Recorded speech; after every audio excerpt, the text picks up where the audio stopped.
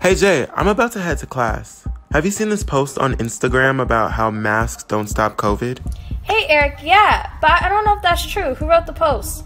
I really don't know, but they have some good charts and say they are a doctor. Why would they lie?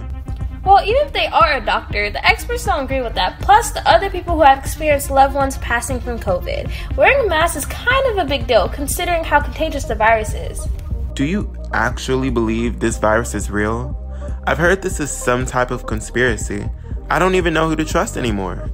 Do you? I actually do. Whenever I look up accurate information sources, I look for the Center for Disease Control and Prevention and the Georgia Department of Public Health. Both sources provide the most accurate details regarding COVID 19. Part of the reason you don't take coronavirus precautions seriously is because of the misinformation that is spreading rapidly. And your point is? If you keep up with the sites and you pay attention to your sources of information, you can find the best way to protect yourself and stop the spread of the coronavirus.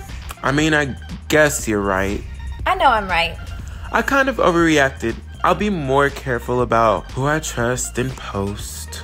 Awesome. I'll see you in class. Don't forget to wear your mask. Hi, my name is Jordyn Easterling. You just heard a conversation between my friends Eric Stout and Jamila Asker.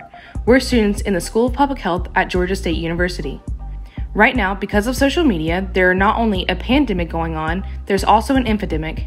According to the World Health Organization, an infodemic is an overabundance of information, some accurate and some not. That makes it hard for people to find trustworthy sources and reliable guidance when they need it. People are sending out inaccurate information from inaccurate sources that are spreading faster than the virus. Just in the last 30 days, there were more than 360 million videos, 550 million tweets, and 19,000 new articles related to COVID 19.